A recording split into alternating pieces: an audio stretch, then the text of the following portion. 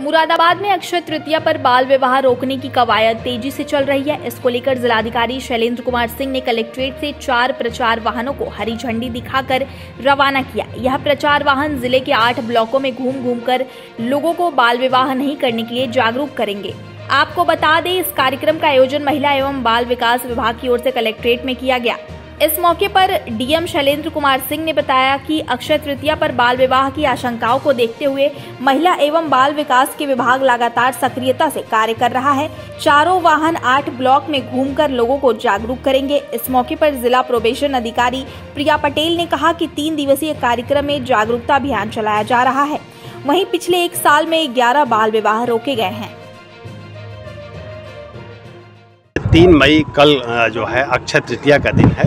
और अक्षय तृतीया के दिन कई बार शिकायतें आती हैं कि लोग बाल विवाह करते हैं। उसके प्रति लोगों को अवेयर करने के लिए ये चार बहन पूरे जनपद में चलाई जा रही है, जिससे लोगों को अवेयरनेस हो।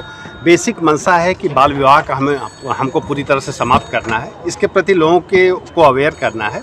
तो पूरे ज़िले को चार जोन में बांट करके चार वैन चलाई जा रही है। ये डिफरेंट एरिया में जाएगी और लोगों को अपने पब्लिक एड्रेस सिस्टम के माध्यम से लोगों को इस बात के लिए जागरूक करेगी कि बाल विवाह से हमें दूर रहना है, बाल विवाह की प्रथा को पूरी तरह से समाप्त करना है।